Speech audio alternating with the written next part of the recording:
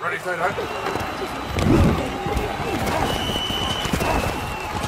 What's up, y'all? Happy Super Hard Weekend. Welcome to the Weekend Zone. It is 2021. We made it. We had a rough week. We had a rough start, but we here. We got tons of football for you guys this weekend. We got games today and tomorrow.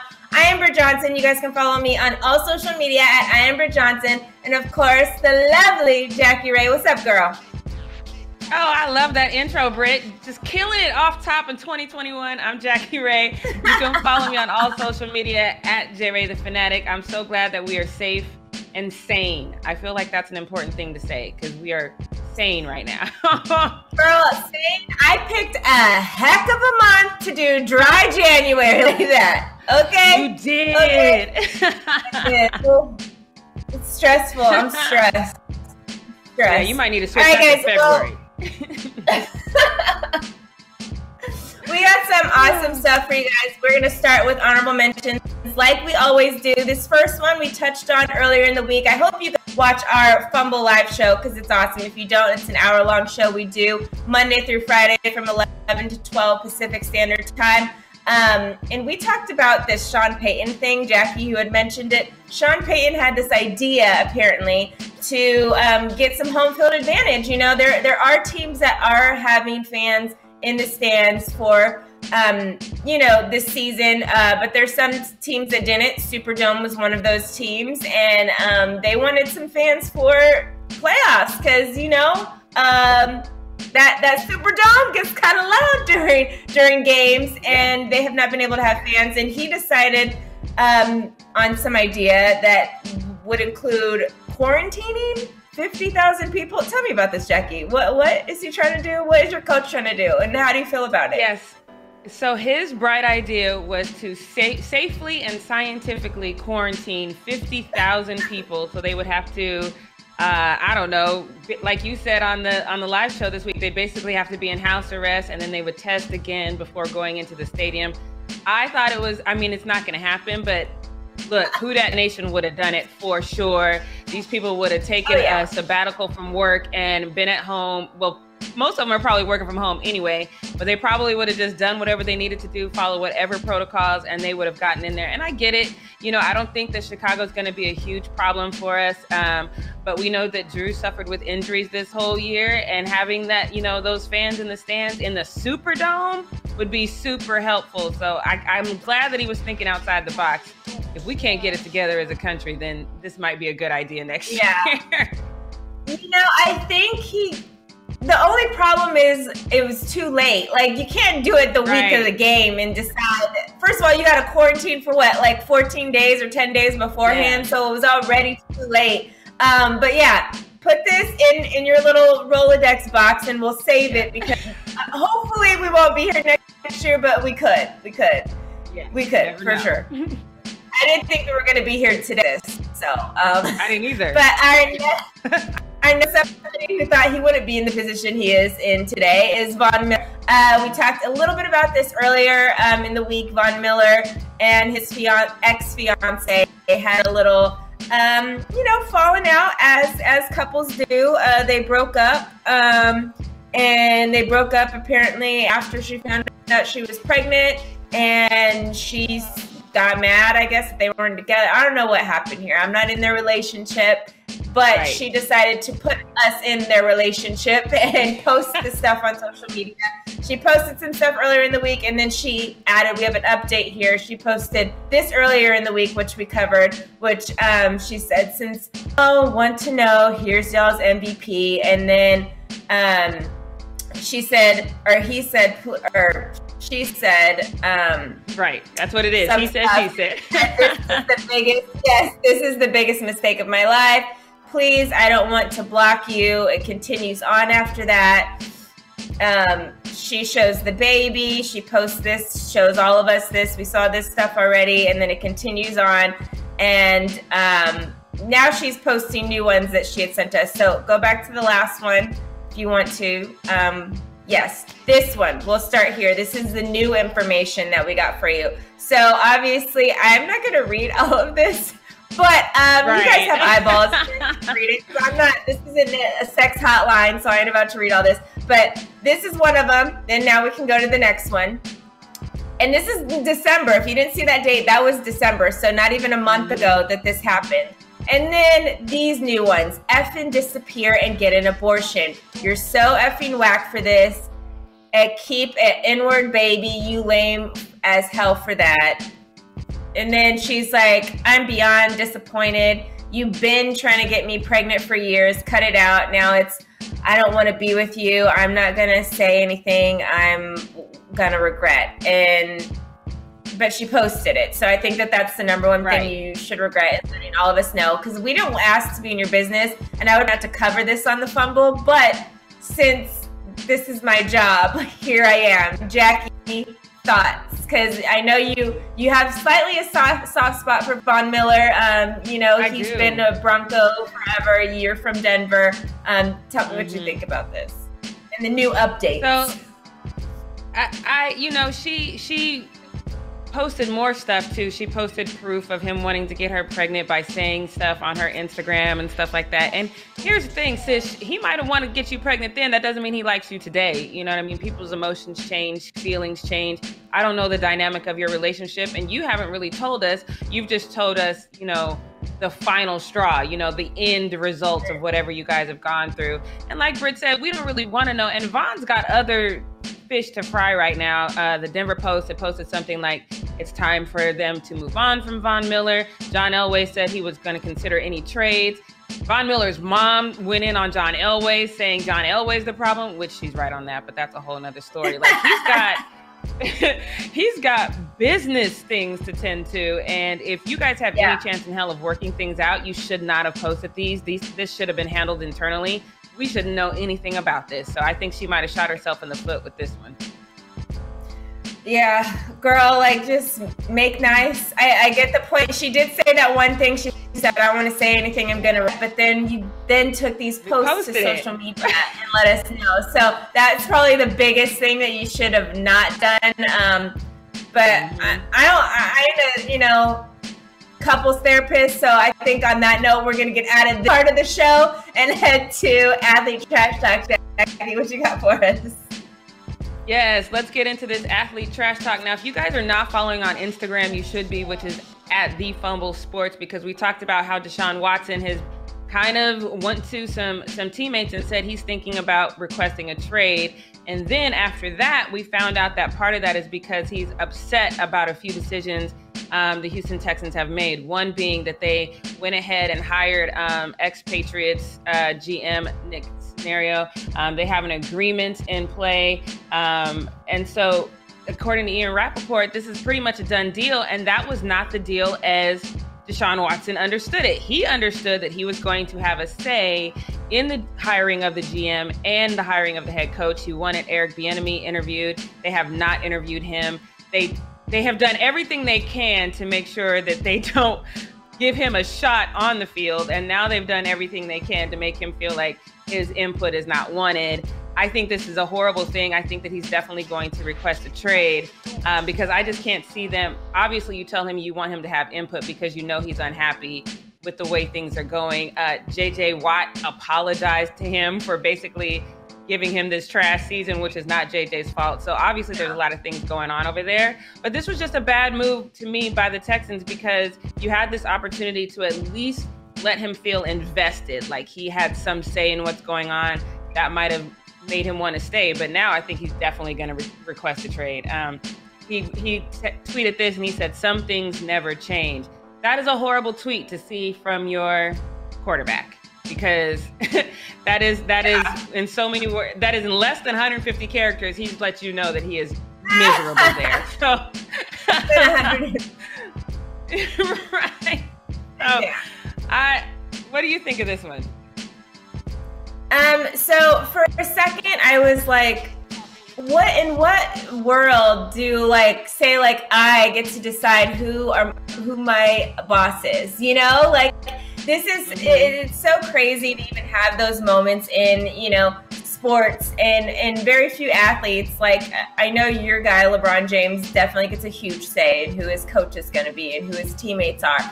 But you got to kind of cr- creep up to that level. And I almost was going to be like, Deshaun ain't there, but then they released the NFL released the um, passing leader for 2020, and guess who it is?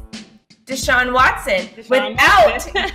DeAndre Hopkins. And we thought yeah. this year was going. And, and, yes, the Texans did not have this like great year, and he it probably would have been even better with DeAndre Hopkins. He still was the passing mm-hmm. leader in the NFL this season with no receivers. We've talked about it all year. He had right. no, no receivers. You know, so to be the passing leader, what? Yeah, I'm like, amazing. okay, you know what? Maybe you do have that pool, and maybe they should have asked you uh, because they literally put this man in a position to fail, lose. Their old, their right. old GM did, you know.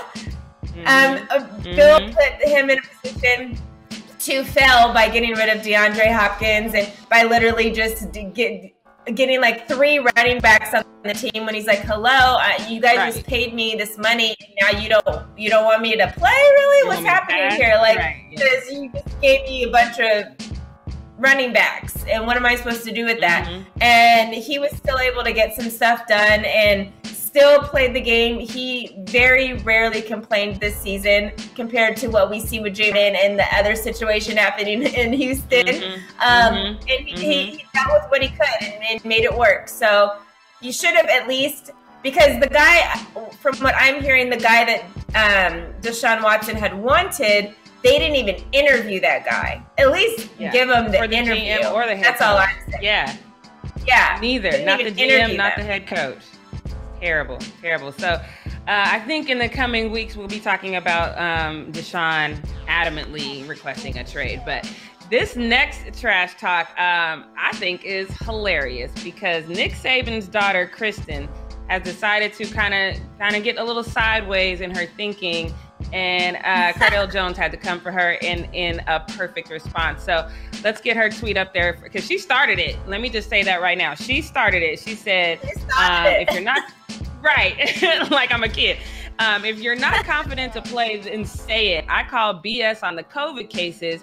They're just worried about their QB and want him to have more time to heal. If he's hurt, put in your backup. You don't. Um, you didn't see us postpone the rest of the season to wait um, for Waddle. Bye. So look, that's cute and everything, but first of all, don't don't pretend that COVID's not real because we out here in California can tell you as a matter of fact that it's very very real and it's a problem. Yeah. That's number one. Yeah. Number two, uh, Cardale Jones, he he clapped back at her and he he had to he didn't give enough detail in it though. He says, "You sure you want to face another backup from OSU? You know what happened last time, right?" I don't think she does because I think if she knew, she wouldn't have said this. But back in 2014, um, when Cardale took over as Ohio State's quarterback after uh, J.T. Barrett got injured, he went on to win like what the next three straight games. Love. So are you sure it's a backup you want to see?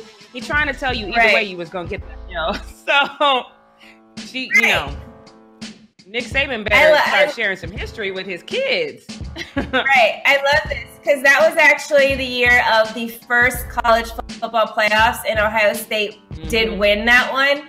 They won the championship that year, and this is the first time they're playing in that championship game against Alabama since then. And I, I mean, you want that smoke? You, if you want us to bring the backup in, we could do that because Ohio State. Right. Ohio State, first of all, is better known for their defense than anything else. But like right. uh, Justin Fields is a soldier. I would love to see him obviously play in that game. But if he it is hurt and you guys want him to heal a little bit longer, like I remember him. Obviously, we all saw him get injured at the end towards the end of that game last um, week. But in right. that situation, he played the whole rest of the game. Like he, if he needed yep. to play, he's gonna play regardless. He's not, not like this little. He clearly saw that in that moment. So, mm-hmm. and you're this just this this is a say, say, less, less. moment. Say less, yeah. Say less. You, you don't even know. I don't know what you were probably was... said during the last game, whatever. Yeah, I don't know what you're doing. probably still in a high chair or something. You don't remember, it's not your fault. We're right. not gonna hold it against you, but say less next time. please. All right. Is no, Ohio Game's on Monday. Game's on Monday. Let's yep. go Buckeyes. can't, can't wait. All right. I think that's time. Do you think we got some some good claps to start off 2021, or do you? What's your prediction? Because I know you haven't seen these my yet. What's your prediction? My prediction is they're.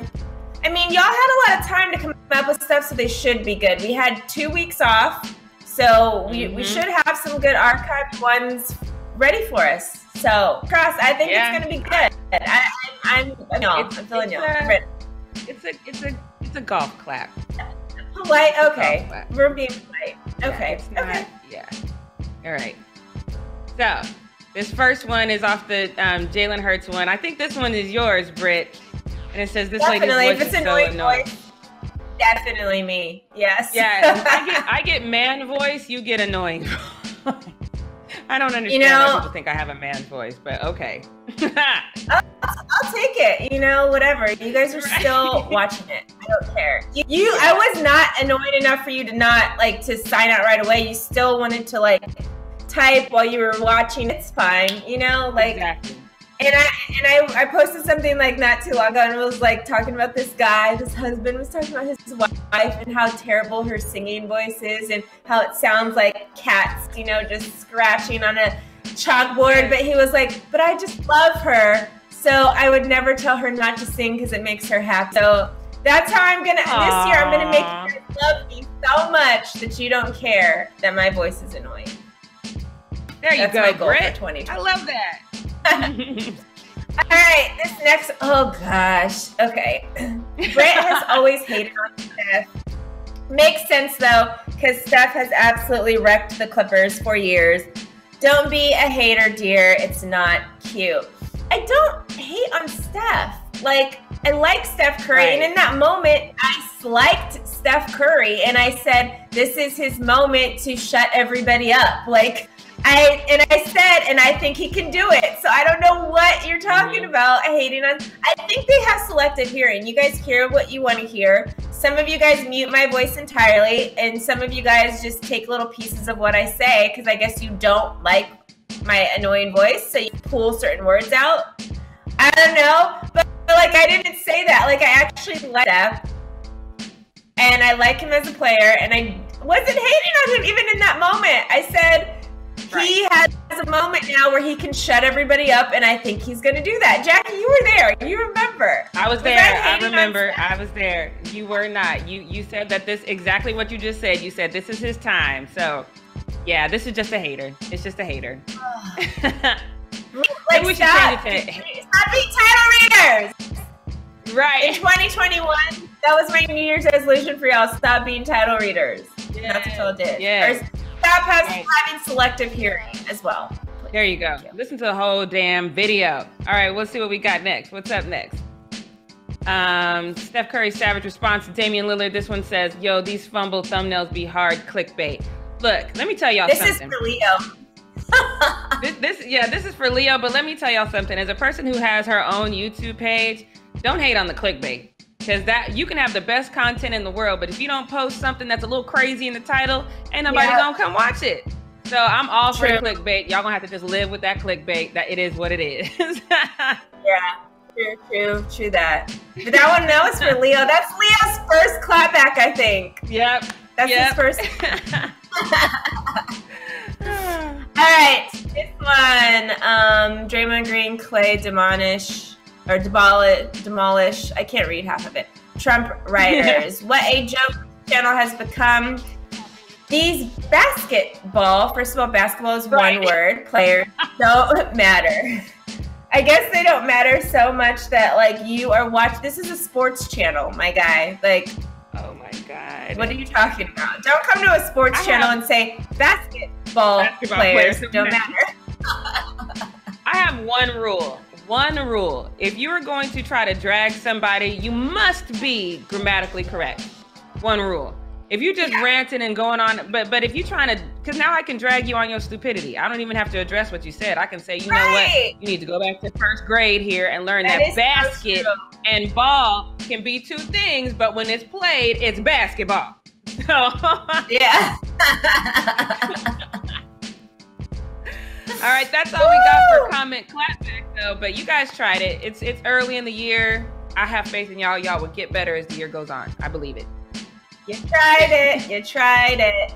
All right, before we get out of here, like I said at the beginning of the show, it is Super Wild Card Weekend. This is the NFL is doing something new. They added two more teams to this wild card mm-hmm. thing. So now going into next week, we still have, you know, the teams that got their bye, but now we have three games that are happening today and what two tomorrow or vice versa one of the one of the yeah. case. But we got two new teams that have been added that get a a chance to possibly make it to these playoffs. Um, so there's an extra game that we got to do. So um, i am actually going to choose this um, washington football team and tampa bay bucks game because again y'all know i am an ohio state fan and chase young made a specific request that he wanted to see Tom Brady. There he is, my guy right there. That was actually like the moment he said it. He was like, I want Tom Brady. I'm coming for Tom Brady. Well, this is your opportunity, Chase Young, to end your rookie season with a bang. Hopefully, this isn't the end for you, or hopefully, I don't know, because I actually really hate him as a Cowboys fan. I do not like the NFC East, but as just a human being, I don't like Tom Brady. So you guys both bleed it out. You know, I want to see a full on back to like. I want y'all fighting. I want all the crazy mm-hmm. madness, just because I don't like y'all both so much. But I want to see. I want a low scoring game. I want high defense, high intensity. That's what I want to see this weekend from this game, and I think it's good. Hopefully, um, uh, Chase Young had seven and a half sacks this season. Hopefully, he gets a sack against Tom Brady just to complete his rookie year but I'm excited for this game. What you got, Jackie? We actually picked the exact same game. So we're going to start off this 2021 Ooh. in total agreement.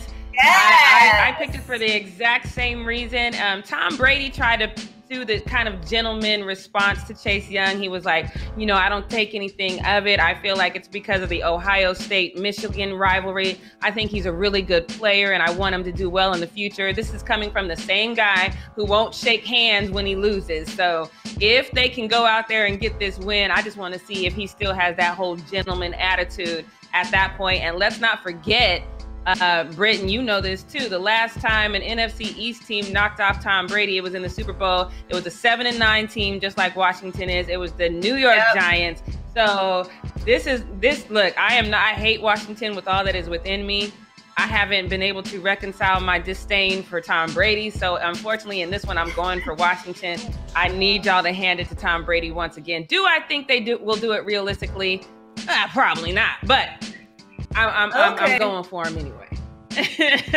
well, since we both picked the same game, a quick little honorable mention game. That is going to be the Seahawks and Rams game for sure. I think that game is going to be really, really good as well. Um, because they're both. This is both NFC West, and they have fought it out all season. The NFC West, I said at the beginning of the year, was the most difficult.